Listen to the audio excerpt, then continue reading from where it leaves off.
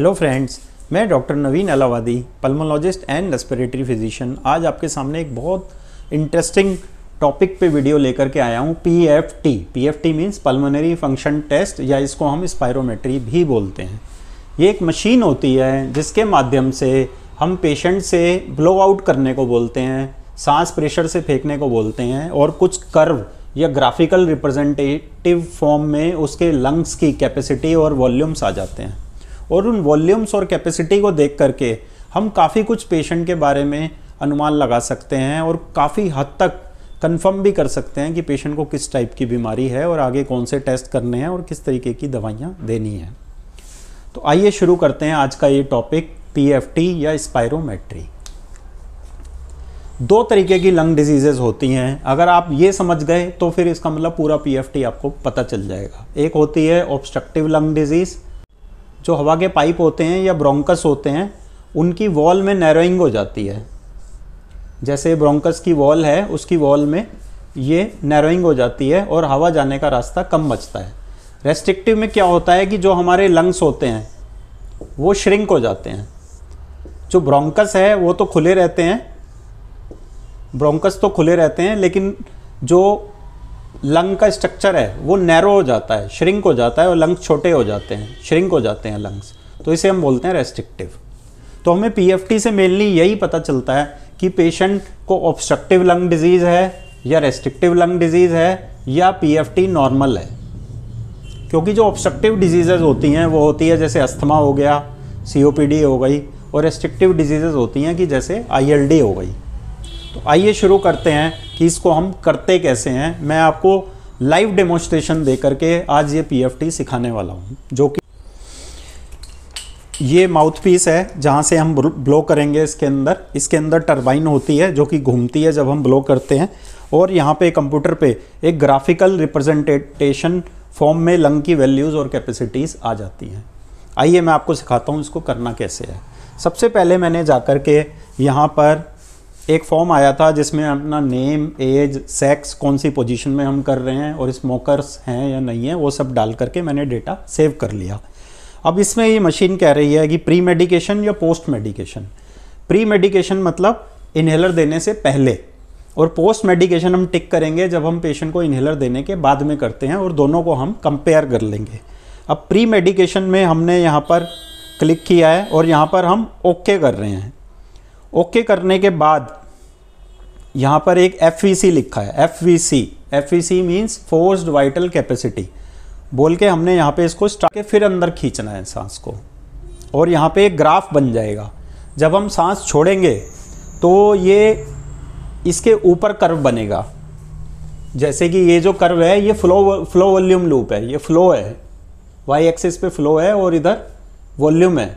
तो जब हम सांस छोड़ेंगे तो ये ऊपर वाला लूप है। इसको हम बोलते हैं एक्सपिरेटरी लूप और ये होता है इंस्पिरेटरी लूप यानी कि जब हम सांस लेंगे तो ऐसा लूप बन जाएगा। आइए मैं आपको करके दिखाता हूँ। रिलैक्स पहले एकदम रिलैक्स हो जाएँगे। तीन सांस लंबी लेंगे, छोड़ेंगे। ज़ोर की सांस लेंगे। इसको मुँह में लगाएँगे और छः सेकंड तक ब्लो करेंगे एक्सपिरेट करेंगे।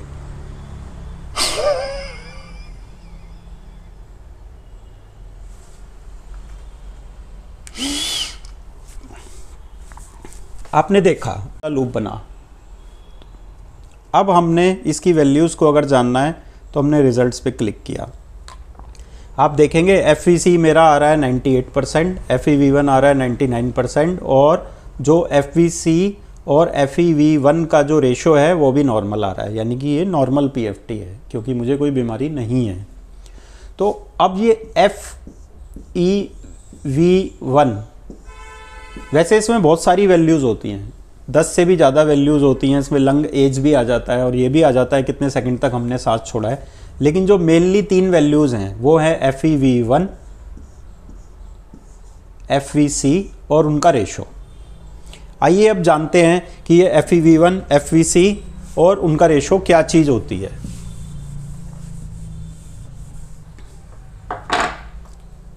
अगर कोई ऑब्स्ट्रक्टिव डिज़ीज़ है उसमें क्या होगा कि F E V one F E V one और एफ़ वी सी थोड़ी कम होगी। कम दोनों होंगी, लेकिन एफ़ ई वी वन ज़्यादा कम होगी। तो जब हम इनका रेशो निकालेंगे एफ़ ई वी वन और एफ़ ई सी का तो रेशो क्या होगा? रेशो कम हो जाएगा, क्योंकि ऊपर वाला जो वैल्यू है वो ज़्यादा कम हो रही है, नीचे वाली वैल्यू कम कम हो रही है तो जो रेशो होगा ओवरऑल रेशो कम हो जाएगा। अब इसका मीनिंग क्या है? इसका मतलब क्या है? ठीक है? वो समझाने के लिए मैं आपको थोड़ा सा लंग्स का डायग्राम बताता हूँ।